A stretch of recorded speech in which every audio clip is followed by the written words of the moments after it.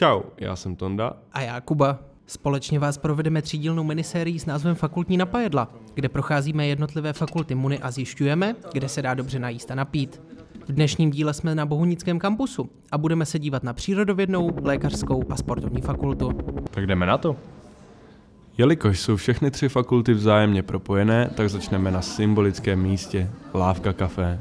Nachází se uvnitř spojovacího můstku mezi dvěma budovami kampusu.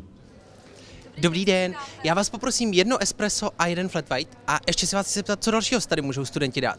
Můžou si dát, tady, tady je výběr káviček, hmm. horká čokoláda, čaj z čerstvého zázvoru, vídeňská káva a potom máme nabídku dne a můžou, můžou dostat teplé, teplé nápoje, matcha latte, čaj latte, italský čaje a čokolády se šlehačkou.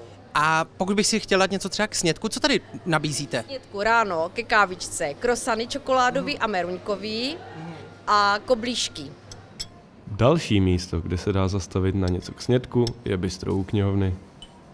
Zatímco já nám beru jídlo, Tonda obdivuje svoji krásu v odrazu telefonu. Jo, poprosím.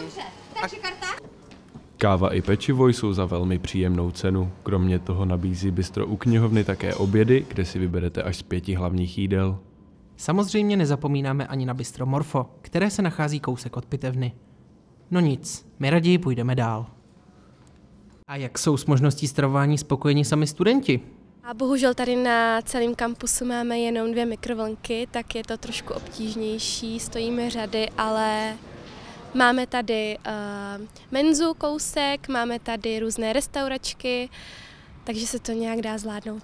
Nie, podľa mňa je to celkom dobrý výber, aj eh, čo sa týka tej kavárny, aj čo sa týka aj obchodov, aj tej menzy, že vždy si tam človek nájde niečo, čo si môže vybrať. A okrem toho aj to, tyto automaty mm-hmm. využívam.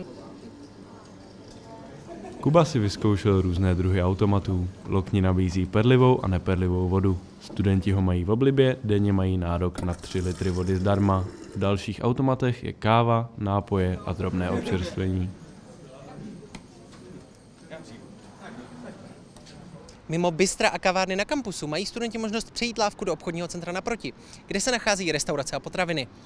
Tímto se s vámi loučí první fakultní napajedla pro Muni TV Jakub Mejzer a Antonín Košťál. Thank you.